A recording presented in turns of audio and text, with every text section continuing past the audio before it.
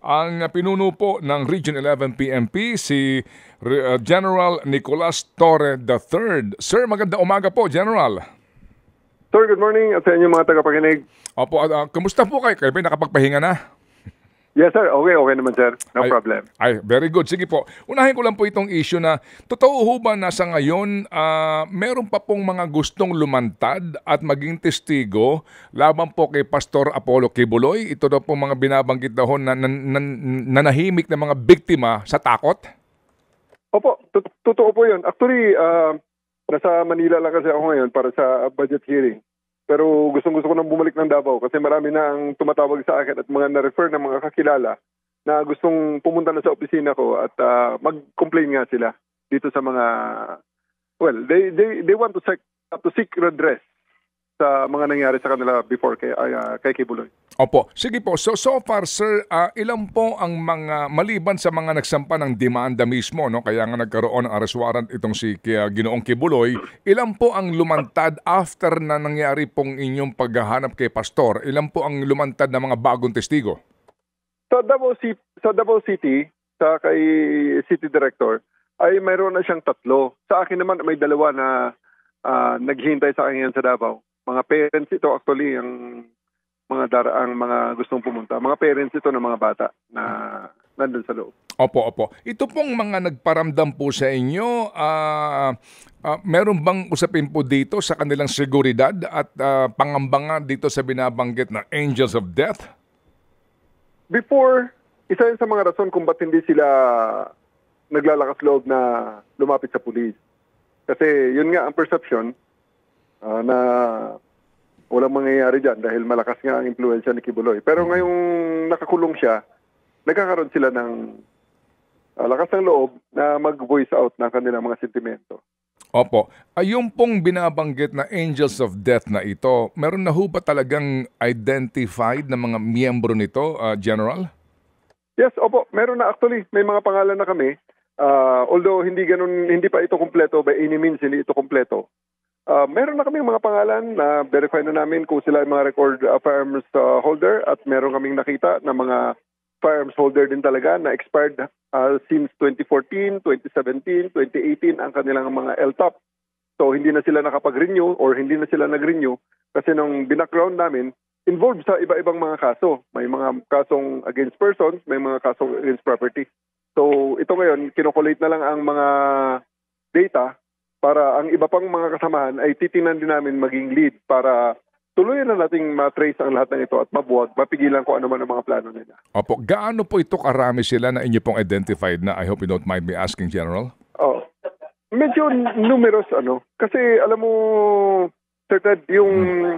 alam mo yung mga, siyempre yung mga grupo naman is uh, ang mga tao mahilig yan mag-organize uh, among themselves pagkatapos mm-hmm. kukuha ng accreditation. Mm-hmm. Sa, may mga accredited pa ka na baka um, tinitingnan namin, baka ito accredited pa ng PNP PCR, PCRG natin kasi mm-hmm. uh, lahat naman palagi mga force multipliers ay uh, open naman tayo sa lahat eh. Kaya mm-hmm. lang, uh, eventually may mga sa tingin namin ay mga nalihis na ito ng latas at uh, mm-hmm. dahil nga nagkaroon ng cloak or semblance ng legitimacy, ayun, eh, nagsariling lakad na or right at the very start, pwede na inorganize lang mga sarili nila para talaga sa interest ni Kibuloy at sa kanyang OJC. Totoo ho bang itong mga mga uh, so far ano ho natutukoy yung mga angels of death na ito may mga sila biktima na talaga na pinatay dahil sa banta sa alam niyo na dito po uh, laban kay Kibuloy banta sa mga pwedeng tumestigo laban sa kanya? May ilan kaming nakitang mga cases na crimes against persons ano murder, physical injury na involve yung mga identified na pangalan doon sa Angels of Death. Uh, pero hindi namin malaman ngayon kung itong mga cases na to dahil medyo luma-luma na eh, mga around 5, mm. 6 years ago na mm. at hindi dito sa Region 11 nangyari. Uh, pero part ng Mindanao pa rin. Uh, hindi namin masigurado lang kung itong activity nila ay related sa KOJC or baka naman personal involvement nila or baka nag-gun for hire sila. So, yan ngayon ang ating tinututukan at uh, binabacktrack natin ang mga kaso, mm. ina-examine para malaman ang mga detalye nito. Meron ba ba kayong more or less bilang sa number of the members itong Angels of Death na ito? binibase namin ang aming estimates ngayon sa mga nakikita namin na mga ah, sa mga indicators. May, you know, ah, itong mga groups kasi na to, eh, may mga indicators. Siyempre, dahil previously, mga accredited sila eh. Na-accredit natin. So, may mga trainings, trainings. ah, sadly nga, kasama pa ang police at iba pang mga units na nagbibigay ng mga trainings. Kasama dyan yung ah, basic life support, yung firearms proficiency, security awareness, mga ganon.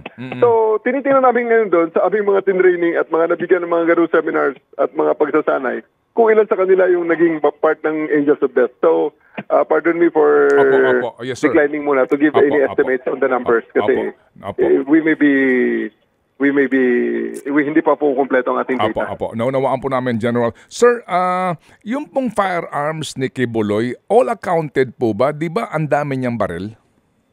Sa mga registered firearms niya, ang last April, after na lumabas ang kanyang warrant, ay isinurrender nila lahat ang mga licensed firearms nila. Accounted naman, ay check na, i-check na lang uli namin sa FPO kung nag-match ba yung nasa hawak namin na custody at saka yung lahat ng records niya. Tapos, tinitingnan din namin yung firearms records ng iba pa niyang mga mga auxiliaries, mga yung baka maging part pa ng Angels of Death.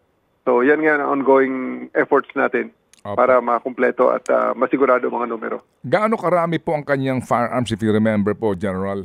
The last time is 20 plus, parang 24 ang kanyang sinurrender. Part kasi ng, kanya eh, part kasi ng parang internal security nila dun sa loob Ah, okay. ng KOJC. Mm-mm. Sa ngayon po, ah, ano po ang sitwasyon doon sa KOJC compound? Meron pa ho bang mga tauhan doon ng Davao Police?